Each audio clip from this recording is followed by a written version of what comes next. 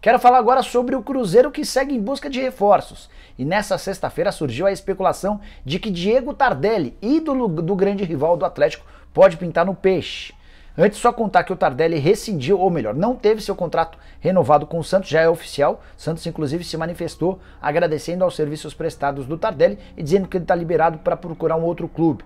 Tardelli, que havia chegado no dia 27 de agosto, disputou só 13 partidas, não agradou e está livre no mercado. Pois bem, Nessa sexta-feira, o Michael Mendes, que é apresentador da Jovem Pan, afirmou que o Tardelli foi oferecido ao Cruzeiro por um grande empresário.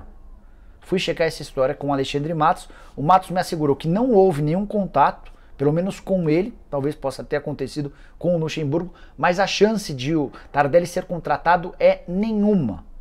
Esqueçam essa possibilidade de o Tardelli defender logo o grande rival em Belo Horizonte. Eu nem sei se o Tardelli toparia, tá? Mas eu só estou trazendo o lado do pessoal do, do Cruzeiro afirmando que entre as possibilidades, entre as intenções de contratação para a próxima temporada, o Tardelli não está. O mesmo não dá para dizer sobre o Dentinho. Ex-jogador do Corinthians, ex-jogador do Shakhtar, está livre no mercado desde o mês de novembro, quer continuar no Brasil. Houve uma sugestão ao Cruzeiro que está analisando o nome. Não dá para descartar essa possibilidade. Dentinho que poderia até acrescentar bastante em experiência, 32 anos de idade, 11 anos de 11 temporadas seguidas no exterior, mas vendo período de muitas contusões. Só resta saber se o Cruzeiro levar essa história adiante, como é que isso funcionaria. Tá? Mudando de assunto, quero falar justamente sobre o rival do Atlético, o Cruzeiro. E seu pacotão de reforços, o Cruzeiro anunciou nessa quinta-feira cinco jogadores contratados para a próxima temporada. O principal deles, o Edu, 28 anos de idade, artilheiro da última Série B com 17 gols. O Edu tem 28 anos de idade, chega para jogar a Série B novamente, mas com status de jogador com enorme capacidade, com enorme potencial. É legal contar que o Cruzeiro precisou desembolsar um milhão de reais para a rescisão do contrato dele com o Brusque. Segundo reforço é o Pará, lateral direito, bastante veterano, 35 anos de idade. Nem foi titular absoluto pelo Santos nessa temporada, jogou 40 vezes, tinha contrato até dezembro de 2022, pediu a rescisão de contrato de forma amigável no Peixe, conseguiu e já se acertou, inclusive já foi anunciado pelo Cruzeiro. Terceiro reforço, Pedro Castro, bom volante, revelado no Santos, fez bom campeonato brasileiro da Série B pelo Botafogo, foi campeão do, da Série B, 30 partidas, 2 gols e 3 assistências ao longo da temporada. Não tinha mais vínculo com o Botafogo, também chega de graça a Raposa. Quarto reforço, Fernando Neto, titular do Vitória nas duas últimas temporadas, jogador formado na base do Fluminense em Xerém.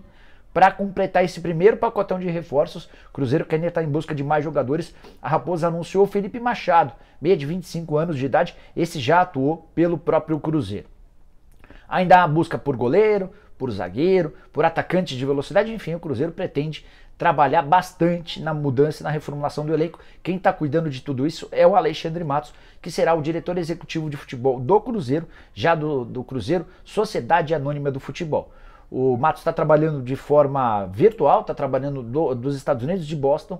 Ele se apresenta ao Cruzeiro a partir de janeiro, tá? A última coisa antes do, de mudar de assunto, queria contar para vocês que surgiu um boato de que quem está comprando o Cruzeiro é o Banco BMG.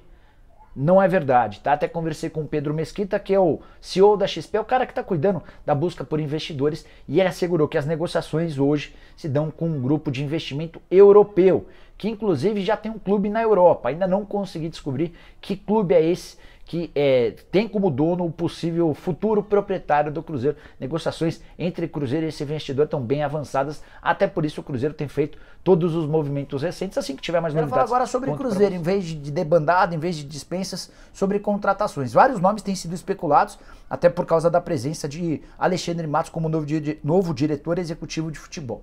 Matos de fato vai buscar atletas, mas tem dado sinais de que não serão nomes tão gigantes, tão importantes como o torcedor esperava. Falou-se nos últimos dias em Giovanni dos Santos, em Ricardo Goulart, entre o Felipe Melo, entre outros. Mas, nesse momento, depois de contratar o Maicon, a ideia do Cruzeiro é fazer um time um pouco mais modesto para a disputa do Campeonato Mineiro e, a partir do segundo semestre, ou na virada do. No, depois do final do estadual, a partir do início da Série B, aí sim contratar jogadores mais importantes. Até porque nesse período Durante o campeonato estadual, a ideia é que a Sociedade Anônima de Futebol do Cruzeiro possa de fato se transformar num clube empresa com um investimento estrangeiro e a partir daí vai haver o acréscimo e a entrada de dinheiro para que o Cruzeiro possa fazer contratações. Então, torcedor cruzeirense, não aguarde por grandes nomes, pelo menos nesse primeiro momento. Um dos nomes que tem sido debatidos internamente é do Edu, que foi artilheiro do Brusque e um dos principais goleadores da Série B. Cara, com bons números, um cara que tem bastante capacidade, bastante recurso para colocar a bola para dentro do gol. Pode ser uma alternativa. É mais ou menos esse o perfil que o Cruzeiro vai buscar a partir de agora para a disputa do Campeonato Mineiro. Quando chegar o brasileiro, a coisa muda. Quero falar agora sobre o Cruzeiro para explicar que essa mudança proposta pelo Cruzeiro na Assembleia de Sócios em relação ao percentual do investidor tem a ver com uma, um pedido, com uma exigência de um investidor com o qual o Cruzeiro já negocia. Para ser mais específico, Cruzeiro já encontrou um interessado em comprar o clube, a Sociedade Anônima do Futebol, da qual o Cruzeiro vai se transformar. Só que esse investidor disse que não vai colocar dinheiro se o Cruzeiro só deixar para ele 49% das ações. Ele não aceita colocar dinheiro, adquirir o clube e ser um sócio minoritário. Ele quer ter pelo menos 51% das ações. Pessoal do Cruzeiro explicou que haveria uma demora, um processo mais longo, porque você precisaria da aprovação. O investidor disse que somente dessa maneira ele faria o aporte do dinheiro. O Cruzeiro marcou para o dia 17 de dezembro uma Assembleia Geral entre os sócios para aprovação de uma, da cessão de um percentual maior do que 49%. De acordo com o edital que já foi publicado, a possibilidade de um investidor ter até 90% é o que vai ser votado. Não acho que não há necessidade de 90%, né? Concordo que 49% para alguém que coloca dinheiro pode ser perigoso, mas 90% também já me pareceu um pouquinho de exagero. Só para completar sobre o Cruzeiro, nessa segunda-feira foi publicado o novo CNPJ do Cruzeiro já como sociedade anônima do futebol, mais um passo dado rumo à profissionalização. Rafael Júlio Xavier, se você fosse investidor, você investiria em qual time? Rafael, eu acho que eu investiria no... Essa pergunta é bem boa, tá? Acho que eu investiria entre as possibilidades hoje: Cruzeiro, Botafogo, América Mineiro, Atlético Paranaense, Ferroviária, Portuguesa, esses são os clubes em estágio mais avançado na Sociedade Anônima do Futebol. Eu investiria no Atlético Paranaense.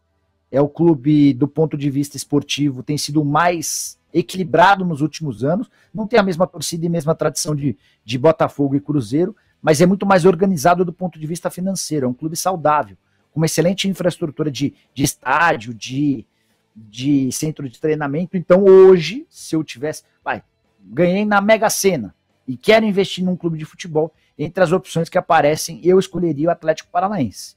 É, nem vai haver a necessidade de ter de lidar com o Petralha, né? Porque automaticamente comprando o clube eu passo a ser dono dos, das decisões. Embora acho que seja importante você ter o Petralha por perto palavra final não pode ser dele, até porque ele vai querer mandar pra caramba e ele tem muito mérito na reconstrução do Atlético, mas se você compra e o cara vai continuar mandando, não faz sentido nenhum. Mas eu, eu iria de Atlético Paranaense, tá? Acho que dos clubes à disposição é o mais interessante.